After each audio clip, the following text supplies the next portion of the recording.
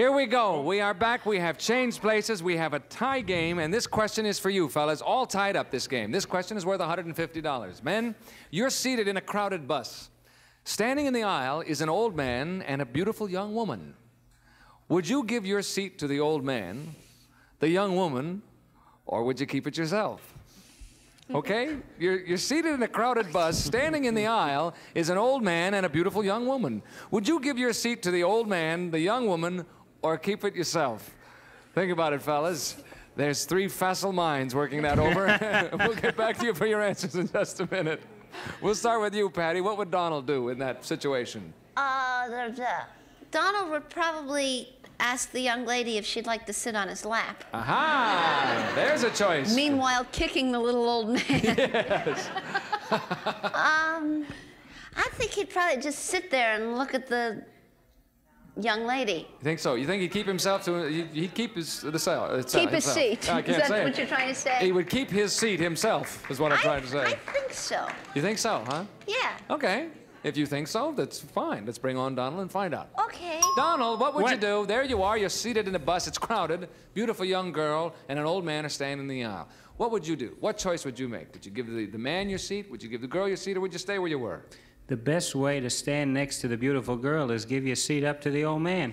Uh-huh. That's right. But that's not the best way to win a share of that pot. Is the only problem. Uh, uh, Patty, tell Donald what you said, I thought that you would just sit there and stare at the girl a lot. and keep this seat yourself. Yeah.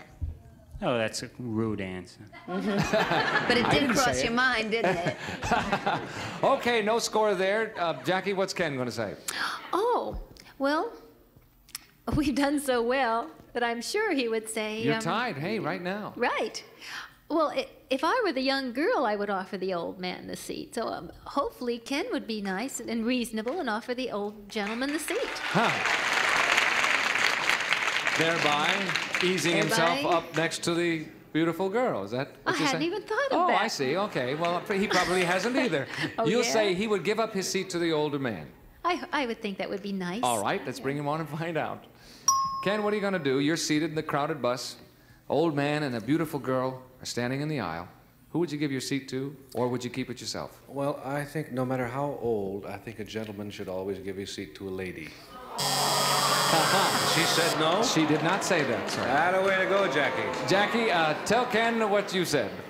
I don't think he cares. Yes, he does. No. I don't care. No, he doesn't No, care. I just thought you'd give it to to the old man.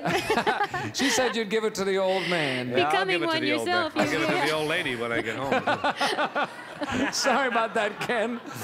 Wally, what's Jack going to say? Nobody's got this question yet. The whole Well, pot is up for grabs. I, I think if the if the old man seemed, you know, really rather frail, uh, and stooped like, or you know, stupid as the old joke goes, or stooped, I think Jack would give his seat to the old man. You think so? You Yeah. think that's what Jack will say? I think he. All right. The banana section is not sure now. No one is sure. Let's bring on Jack. Jack, no one has got this question right yet, so you Oh. have a chance to get the whole pot. Uh, there you are. You're sitting in a crowded bus. In the aisle is standing an old man and a beautiful young girl. What would you do? Well, first, I'd uh, like to say that uh, we're referring to the fossil mind. You're probably referring to me. But, uh, no, I said I'm facile. not yet. not oh. fossil. Uh, now, if the young lady was in an interesting condition, I would give her the seat. But see, if she was uh, perfectly normal, I think I would give my seat to the elderly gentleman. That's what Wally said, and you're right. Absolutely right. You got the whole pot, Jack. Well done, sir. There's nothing. And we'll come back in just a moment with our double question after this message.